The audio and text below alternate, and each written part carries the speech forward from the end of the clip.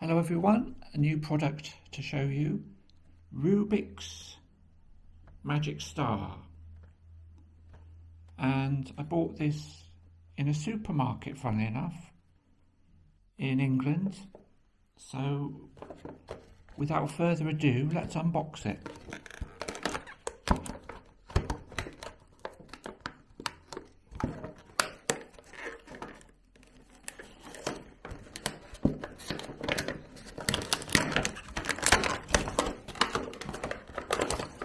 You get you get two items. This is not a puzzle, it's just a stress relief toy, like a fidget spinner, um, Rubik's, and this is a star, or it becomes a star.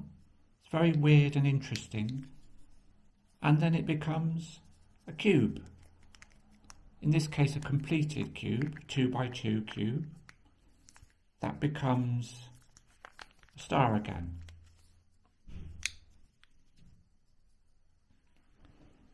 And the other item is exactly the same, but it's a scrambled, it becomes a scrambled cube.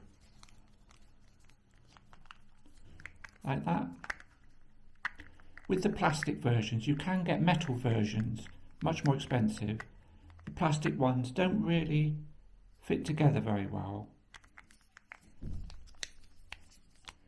The other thing they'll do is fit together. So if you make one into a double star formation and the other into a kind of tray with two hollows, you can actually fit them together and they will then form cubes or a cube, a more solid cube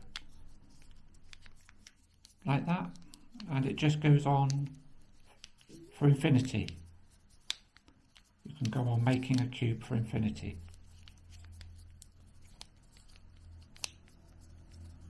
But it doesn't really hold together well. There are gaps. And that's about it. The Rubik's Magic Star. Hope you enjoyed it. See you later.